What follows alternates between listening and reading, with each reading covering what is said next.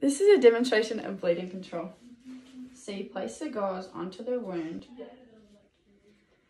and then you take the bandage, you wrap it around securely.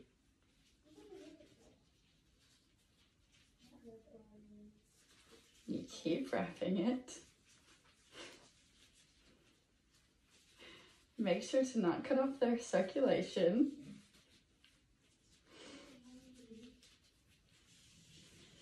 And then when it's done, you just tuck it in. And you make sure it's not too tight.